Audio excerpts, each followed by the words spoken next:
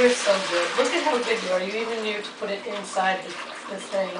Look how good you are. I'm a brine. Looks like brine, huh? A little bit more. Oh, look at all those black peppercorns Yeah. Are you sticking the turkey in the brine in there? No, in the cooler. Okay, gotcha. Don't worry, I'm gonna deep clean your cooler. Oh, I'm not worried.